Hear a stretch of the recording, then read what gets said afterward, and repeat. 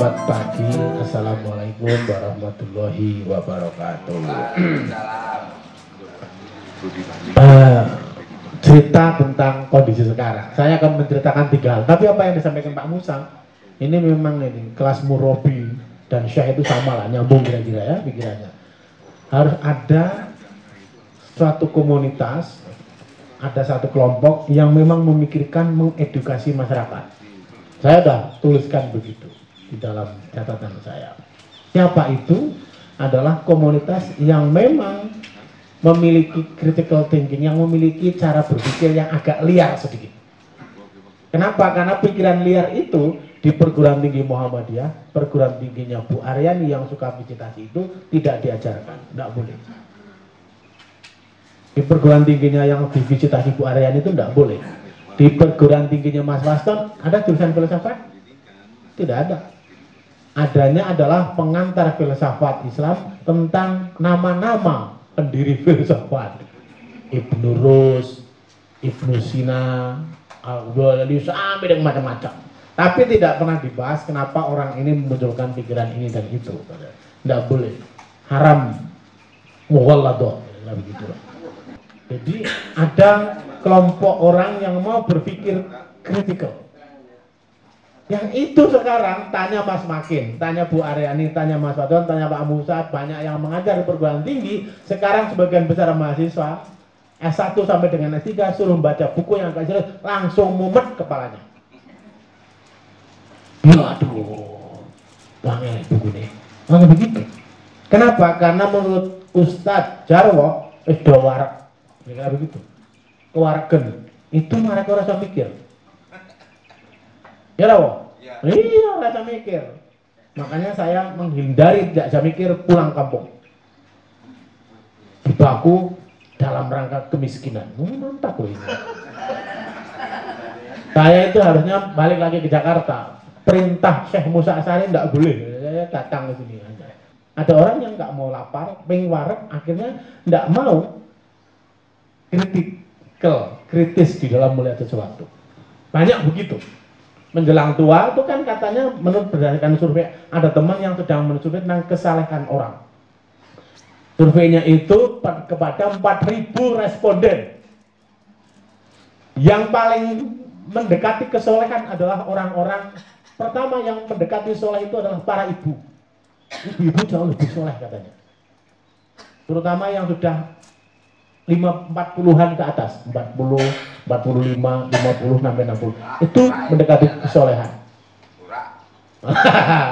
Ciri-cirinya apa? Minimal jilbabnya seperti korden. Namanya begitu.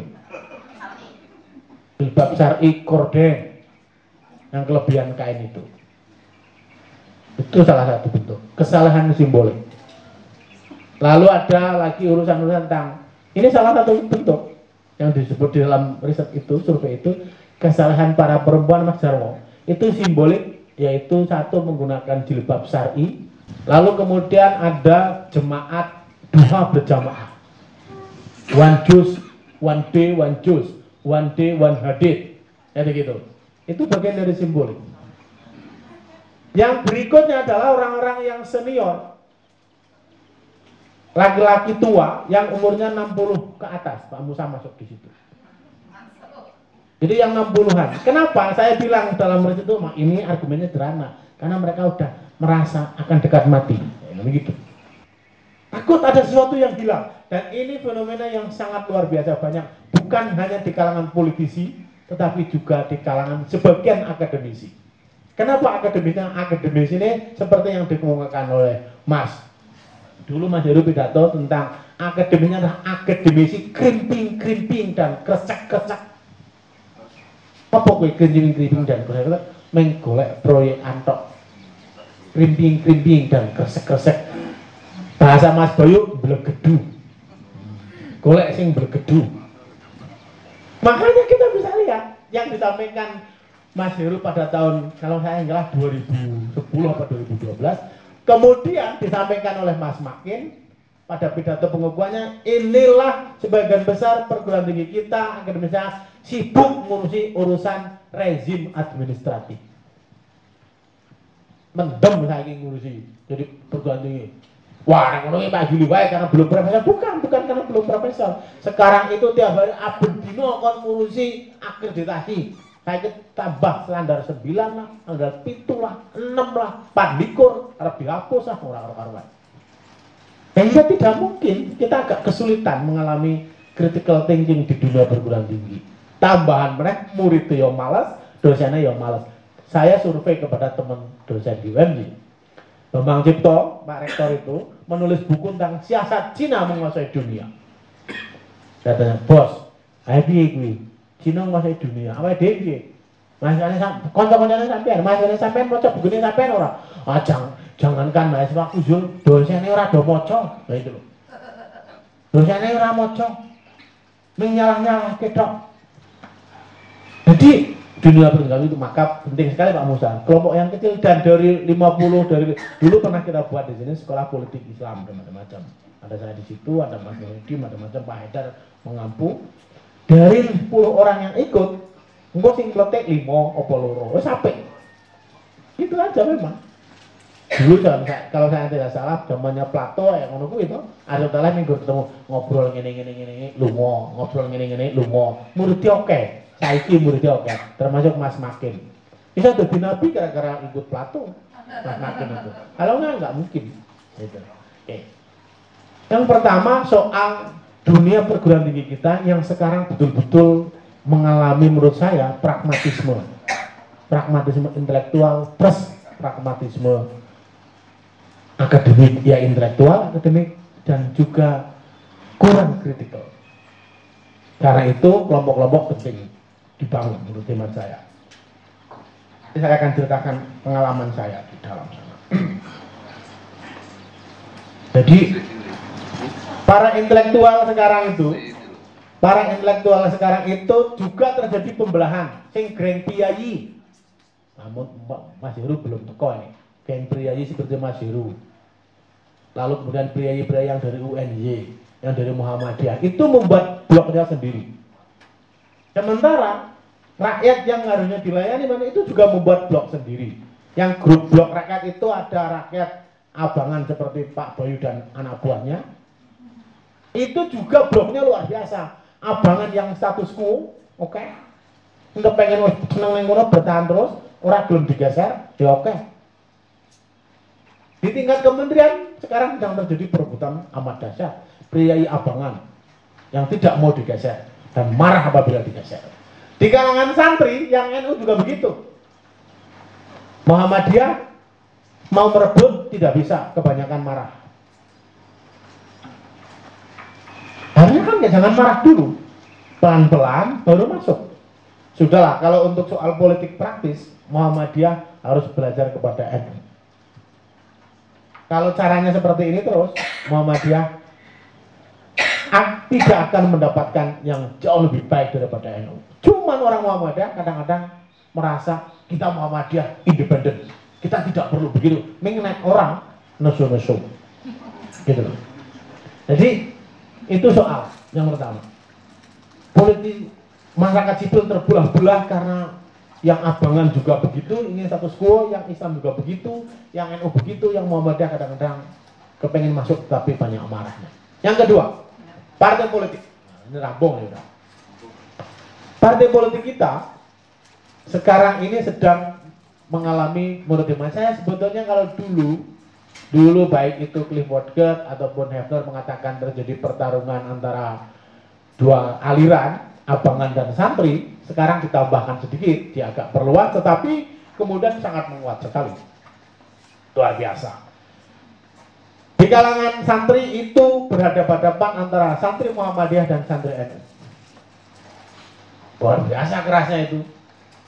Sampai dengan Pilpres. Sejak pemilu Ahok sampai dengan Pilpres 2019 yang lalu. Sampai dengan tadi malam saya lihat sidang MK. Lima orang alumni dan kemudian yang empat ini masih di Gajah Mada. Sekarang Denny Indrayana berkongsi sebetulnya sama Yusri. Bapak dan Ibu mungkin tahu, tapi kemudian saya beritahu sedikit. Sekarang bersama-sama dengan Yusri di sekolah Asyafiyah, Universitas Asyafiyah. Ketua yayasannya adalah Yusri Ihya Mahendra, Denny Indrayana profesornya di situ. Terus gimana tuh Pak? Ya muter, muter aja toh. Muter apa? Muter aja toh, muter golek warga kene kene posisi kene kene kene kene dulu Bambang Wijayanto adalah orang yang sangat critical thinking kepada pemerintah dan segala macam. Sekarang menjadi bagian dari pemerintahnya Pak Anies Baswedan. Sekarang menjadi tim pembelanya Pak Prabowo. Ketua bersama Denny Indrayana. Jadi memang begitu-begitu. Wah, serang lawan. Piye nek Ada pembelahan yang sangat kuat. Yang santri, NU, Muhammadiyah, ilmuwan juga begitu. Nah, oh bagian akhir para intelektual sebagian itu menjadi broker dan jongos politisi. Agak kasar-kasar istilahnya, kalau nggak kasar, iya biasa. Itu jelas. Bagian sebagian dari intelektual itu menjadi jongos dan broker para politisi. Para pengusahanya sen itu intuan. Sekok kenentuk, sekok kenentuk, sekok kenentuk. Pertarungan jongos dan broker sudah terjadi Nah, menurut zaman saya, dunia pendidikan harus liberatif. Harus liberatif, memberikan cara berpikir Mas Makin, Mas Mutasar, ini Mas Bayu, lalu kemudian Mas Saifan Nur harus memberikan pencerahan kepada mahasiswa. Walaupun yang akan ikut itu sedikit. Suatu saat saya mengajar di UIN, Pak Musa. Saya waktu itu mengajar di kelas sosiologi, lalu kemudian saya mengajar tentang political dynasty politik dinasti yang dibangun oleh beberapa orang di Indonesia ini. Apa kata teman mahasiswa? Kan malah HP toh Pak, melanjutkan keberlangsungan kurang ajar toh Malah HP jarang gitu. Padahal kita sedang membuat bagaimana tanya ini harus dipotong. Membangun politik dinasti. Malah dia bilang, ini malah bagus Pak. Daripada cari orang lain yang belum jelas. Begitu. Eh dia nulis karuan itu di UIN itu yang kali jaga. Jurusan sosiologi FISHUM yang dekannya dik dan ora pedot oyote nah gitu-gitu. Lalu kemudian suatu saat seminar di Muhammadiyah ada saya seminar di Muhammadiyah tentang penyakit korupsi. Apa komentarnya? Bukankah itu menyelamatkan keluarga pak? Menggunakan ayat ku ampusikum wa alikum ngaroh itu ada ini dia berani serang orang ini Nah itu yang penting. Yang kedua adalah ormas keagamaan. Sekarang menurut saya harus didorong supaya cara mengajar keagamaan itu selain liberatif adalah transformatif. Pak Kunto sudah mengatakan itu, Muslim Abdurrahman ngomong begitu, dakwah ngomong begitu, Mas Haidar ngomong begitu, itu yang diambil sebetulnya oleh falsafahnya Al-Mangun. Kan? Gawe wong miskin jadi orang miskin, rakire. Ing wis kiri ben tambah kiri bukan begitu itu saja maka yang tidak boleh dilupakan adalah bagian akhir kita tidak membangun sekarang ini sedang terjadi bangunan politik menurut hemat saya dalam budaya politik yang disebut budaya balas dendam. Yang penting maju kae. Apa kae? Wong saka Solo. Nah sapa-sapa kok tiba-tiba jadi presiden wali kota gubernur arep pindho meneh. Piye carane? Ben ora dadi. Ya sekarang begitu ya terjadi. Betul-betul nanti akan ada lagi. Besok ini tahun 2024 Pak Musa tadi dengan matur ada kemungkinan akan terjadi pertarungan antara Islam versus Islam tahun 2024. Islam sama Islam berkelahi yang muncul di tempat lain adalah kebangkitan etnisitas yaitu yang tidak Islam atau kelompok-kelompok yang misalnya seperti di Minahasa Manado lalu kemudian Batak dan Simalungun dan sekitarnya serta Papua dan Denpasar. Berkelahi Indonesia menjadi tempat pertarungan balas dendam politik. Karena besok 2024 kemungkinan itu Islam versus Islam. Kalau sekarang itu Islam versus PKI menurut lawannya kan gitu. Menurut lawannya. Pak Jokowi kan dianggap PKI itu komunis. Walaupun Islam. Nah besok itu tidak bisa. Dan itu lebih berbahaya. Menurut zaman saya begitu. Maka disiapkan di sekolah Padepokan Musa Asadi ya sore-sore lah kayak gini-gini Pak Musa saya sudah mengundurkan diri dari istana biar Bu Baru ini aja di sana dan baru ini sekarang wah ya, baru ini baru ini belum baru sekitar waktu sekarang ya ya melani saya mundur biar tidak terlalu keluarga saya leren biar bisa mencondro dari jauh. Jadi nanti kita bikin aja pas sore-sore begini atau siang-siang begini hari Sabtu. Nanti saya jalan di sini, itu kan? Itu saya kira penting memang. Dari 10 orang, 15 orang nanti ingin saya melekek loro telu, ah bagus gitu. Nggak usah banyak-banyak. Nabi aja cuma 25 yang tertulis. Padahal umatnya banyak sekali.